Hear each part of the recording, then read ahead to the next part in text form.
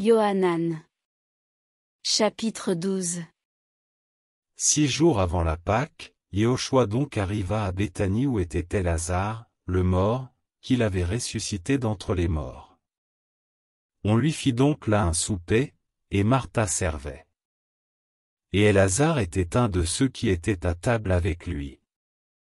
Alors Myriam, ayant pris une livre d'un baume de nard pur de grand prix, en onnit les pieds de Yehoshua et les essuya avec ses cheveux et la maison fut remplie de l'odeur du baume. Alors Yehuda Iscariote, fils de Shimon, l'un de ses disciples, celui qui devait le livrer, dit, Pourquoi ce baume n'a-t-il pas été vendu trois cents deniers et donné aux pauvres?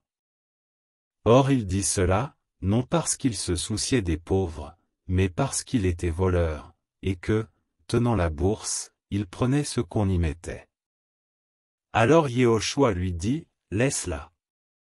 Elle l'a gardée pour le jour de ma sépulture. Car vous avez toujours les pauvres avec vous, mais moi, vous ne m'avez pas toujours. Alors une grande foule de Juifs ayant su qu'il était là et ils vinrent, non seulement à cause de Yehoshua, mais aussi pour voir Elazar, qu'il avait ressuscité d'entre les morts. Mais les principaux prêtres résolurent de faire mourir aussi Elazar, parce que beaucoup de Juifs se retiraient d'eux à cause de lui et croyaient en Yehoshua. Le lendemain, une grande foule qui était venue à la fête ayant entendu dire que Yehoshua se rendait à Jérusalem, ils prirent des branches de palmier et sortirent à sa rencontre, et ils criaient, Hosanna. Béni soit celui qui vient au nom du Seigneur, le roi d'Israël. Et Yehoshua ayant trouvé un anon, s'assit dessus, selon qu'il est écrit, N'aie pas peur, fille de Sion. Voici que ton roi vient, assis sur l'anon d'une ânesse. Or ses disciples ne comprirent pas d'abord ces choses, mais, quand Yehoshua fut glorifié, ils se souvinrent alors qu'elles étaient écrites de lui et qu'on les lui avait faites. La foule qui était avec lui, quand il avait appelé Elazar hors du sépulcre et l'avait ressuscité d'entre les morts, rendait témoignage. C'est aussi pour cela que la foule alla au-devant de lui, parce qu'elle avait entendu dire qu'il avait produit ce signe. Les pharisiens donc disaient entre eux, Vous ne voyez pas que vous ne gagnez rien? Voilà que le monde s'en est allé après lui. Or il y avait quelques Grecs d'entre ceux qui étaient montés pour adorer pendant la fête, qui s'approchèrent de Philippos, qui était de Bethsaïda de Galilée, et le prièrent en disant, Seigneur, nous désirons voir Yehoshua. Philippos vient et le dit à Andreas, et Andreas et Philippos le disent à Yehoshua. Et Yehoshua leur répondit en disant, L'heure est venue pour que le Fils d'humain soit glorifié. Amen, Amen, je vous le dis, si le grain de blé qui est tombé en terre ne meurt, il reste seul, mais s'il meurt, il porte beaucoup de fruits. Celui qui aime son âme la détruira, et celui qui est son âme dans ce monde la gardera pour la vie éternelle. Si quelqu'un me sert, qu'il me suive, et là où je suis, là aussi sera mon serviteur.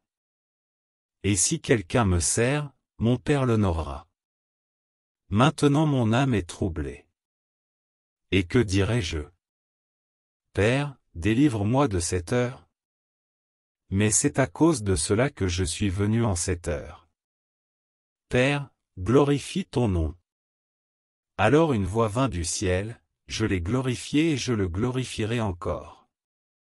La foule donc qui était là et qui avait entendu disait qu'un tonnerre était arrivé.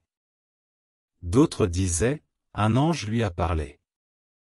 Yehoshua répondit et dit, Ce n'est pas à cause de moi que cette voix est arrivée, mais à cause de vous.